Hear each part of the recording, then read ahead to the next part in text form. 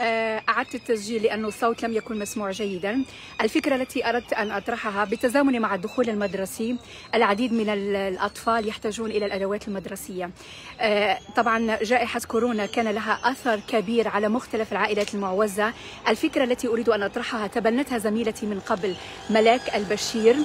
اصنع معروف اتصل بمعلم خذ قائمة الأطفال المعوزين أو اليتامى. آه، اصنع معروف واصنع خيرا معهم. اشتري له الأدوات المدرسية. كلما مررت بمكتبة تذكر يتيم تذكر معت... مع... معوز.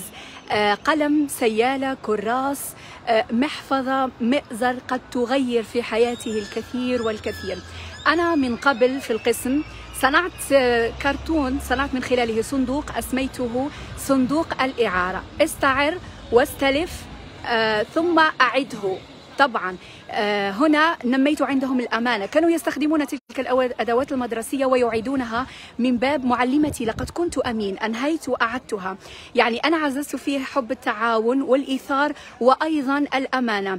آه، بعض التلاميذ كانوا يحضرون من البيت أدواتهم المدرسية الإضافية أقلام سيالات كراريس كل شيء يضعونه في الصندوق وعلى مدار سنة لم يحتج ولا تلميذ لا إلى سيالة ولا إلى قلم ولا إلى أي شيء من الأدوات المدرسية.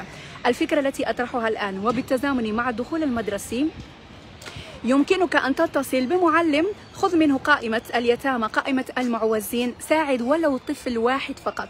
ستنجح لأنك ستشارك في صناعته للغد ويكون شخص منتج. ربما ذلك القلم سيخلق فيما بعد طبيب. ربما ذلك الكراس سيجد المهندس والطبيب والمعلم.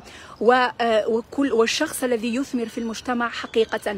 الفكرة أكثر من رائعة. تبنتها صديقتي ملاك البشير على مدار ست سنوات. كان لها طفل تساعده في مرحلة التعليم الابتدائي. ذلك الطفل هو الآن في المتوسط وما زالت على العهد. أتمنى أن يشارك الجميع الفكرة. مرورك على المكتبة تذكر ذلك الطفل اليتيم. تذكر ذلك على ذلك المعتز أو المعوز عفوا. اشتري له أبسط الأشياء. قلم رصاص مقلمة قد تغير عنده وقد تزرع فيه آه، آه، حب الدراسة وحب المدرسة. أتكلم آه، أعيد وأكرر. أنا أتكلم هنا من باب الاقتداء وليس من باب الرياء مطلقا.